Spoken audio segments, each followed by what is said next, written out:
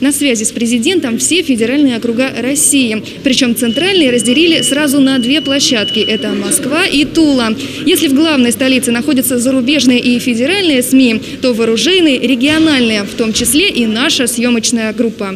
Новый формат конференции, а значит и новые правила. Если президент по ту сторону экрана, то ее участники общаются между собой вживую. А значит соблюдение санитарных норм – обязательное правило. Теперь прибывающих журналистов встречают не только организаторы, но и волонтеры. Спрашивают о самочувствии, выдают средства защиты. Здесь мы проверяем температуру на входе. Также наши волонтеры будут помогать журналистам с микрофоном непосредственно и помогаем на регистрации участников. Вроде работа мелко, но в то же время очень ответственная за счет того, что мероприятие довольно-таки масштабное.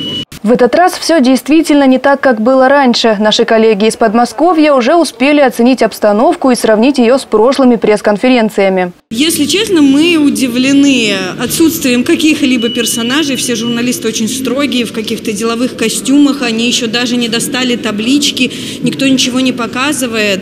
Но нас, если честно, это удивило. Мне есть чем сравнить. Я уже была на пресс-конференции Путина. Мы всегда приезжаем рано. И даже если ты приезжаешь рано, ты входишь вот в центр международной торговли, и ты как будто на костюмированном шоу.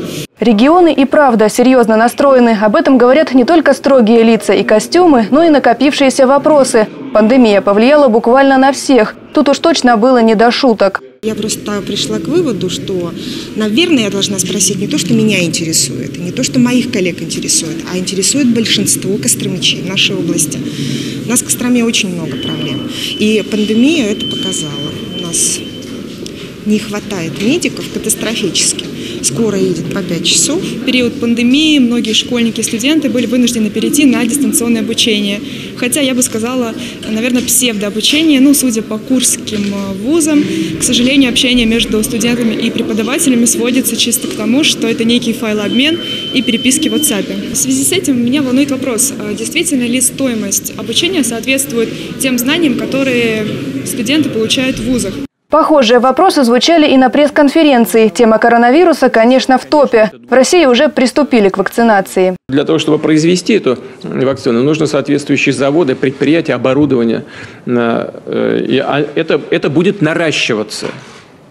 Это будет наращиваться, и э, исхожу из того, что все планы в этом смысле будут исполнены.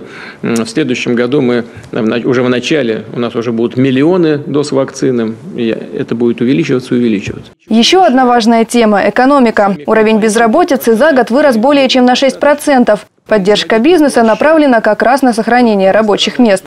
Внешний долг России уменьшился, а вот международные резервы подросли. Еще один важный фактор – зависимость от нефти и газа.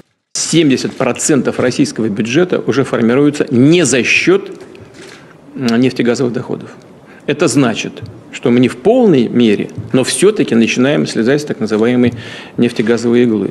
И если кому-то хочется представить нас, представлять нас до сих пор э, бензоколонкой, то это уже не имеет под собой реальных оснований. Хотя зависимость еще очень большая, и мы э, это должны иметь с вами в виду.